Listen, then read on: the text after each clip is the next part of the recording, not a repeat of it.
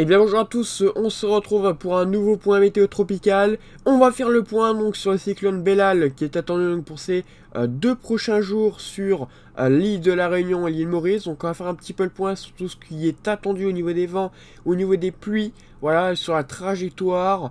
Donc on va commencer déjà par l'image satellite, hein, comme vous voyez, avec le cyclone qui est occupé d'ailleurs de prendre une très belle rotation, hein, voilà, qui se, forme hein, vraiment très progressivement.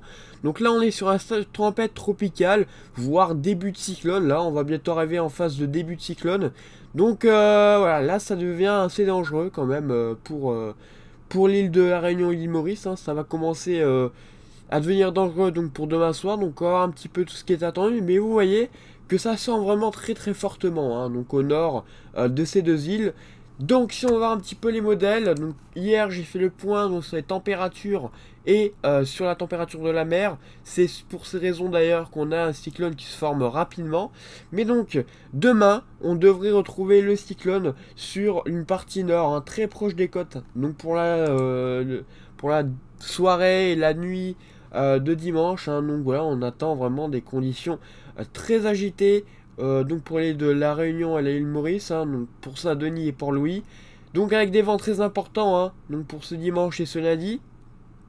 Donc on saura les vents, donc là ça serait dans une catégorie 3 pour ce cyclone, voilà, catégorie 4 pourquoi pas, mais catégorie 3, déjà ça, ça semble presque sûr, ça semble sûr.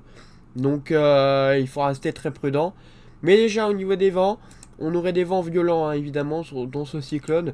Des vents euh, qui atteindraient donc les 130 km par heure. En tout cas, là selon le scénario GFS. Hein.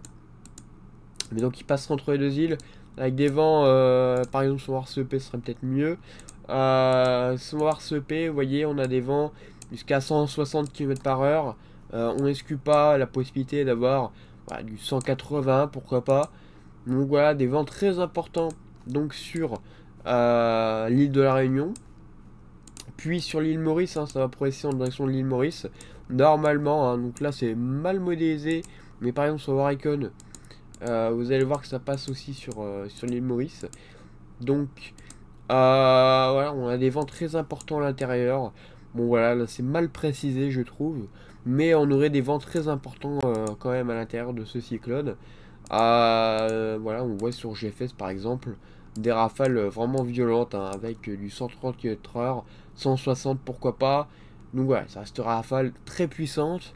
Et euh, également beaucoup de pluie à l'intérieur, donc pour l'île de la Réunion d'ailleurs, qui serait beaucoup plus concernée finalement que l'île Maurice, hein, avec voilà, des vents qui tourneraient, voilà, des, vents qui tourneraient assez violemment euh, là-bas.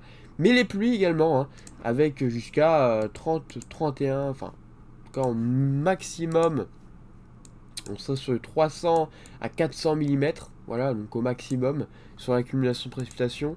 Après, euh, si on regarde sur ce EP, on est sur du 293, donc après à peu près 300.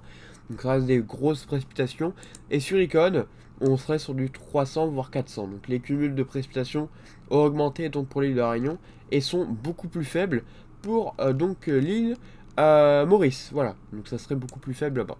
Si on regarde un petit peu au niveau, niveau de l'animation satellite pour terminer, on voit hein, ici, cette bel enroulement qui est occupé de se faire ici au nord des deux îles. Hein. on voit cet enroulement vraiment, voilà, vraiment très violent, hein, vous voyez, s'occuper de bien se former. Donc là, euh, on est sur les gros sommets nuageux à moins 19, moins, moins 90, hein, voilà. Donc c'est très gros sommets nuageux. Ça gonfle, hein, ça, gonfle euh, ça gonfle vraiment euh, rapidement. Donc voilà, moins 90. c'est quand même assez violent au niveau des sommets nuageux.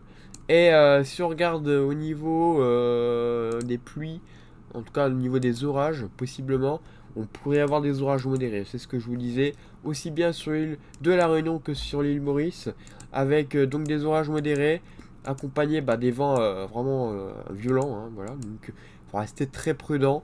donc pour ces deux îles, voire pourquoi pas fort, hein, on voit ici par exemple. Donc il faut rester très prudent sur ce cyclone qui va progresser en direction après la moitié sud. Voilà, donc après ça va s'évacuer progressivement. Mais euh, il faut rester prudent quand même sur ce cyclone qui s'annonce actif donc pour cette journée de dimanche et de lundi, et également possiblement de mardi encore. Donc restez prudents si vous habitez donc sur l'île Maurice et l'île de Réunion. Voilà, donc euh, moi j'ai rien à rajouter concernant euh, les vents et concernant les pluies, et même en général, à part les vagues qui seront tout de même importantes, hein, comme, comme, je vous ai dit, hein, des vagues très importantes. Voilà, on voit par exemple ici, hein, une nouvelle fois, 5 mm, 5 mètres, enfin 5 mètres, pardon, donc beaucoup de vagues importantes, voilà, ça reste, ça reste à surveiller, mais ça serait plutôt du coup l'île de la Réunion qui serait plus touchée que l'île Maurice, donc pour, euh, pour ce soir. Voilà, selon les scénarios de ce soir. Bah écoutez, merci d'avoir suivi ce point, et on se retrouve donc bientôt pour un nouveau point météo. A bientôt